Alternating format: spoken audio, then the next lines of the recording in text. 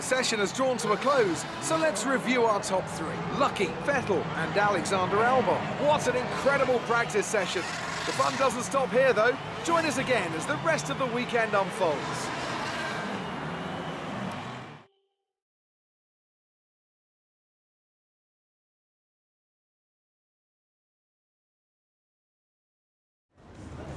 Amazing performance out there. I'm sure you're pretty happy with that.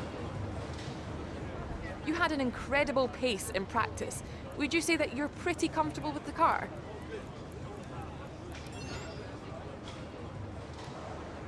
How does a car handle in the wet?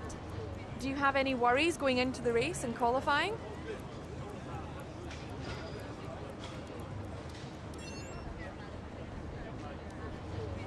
Great. Well, that's everything.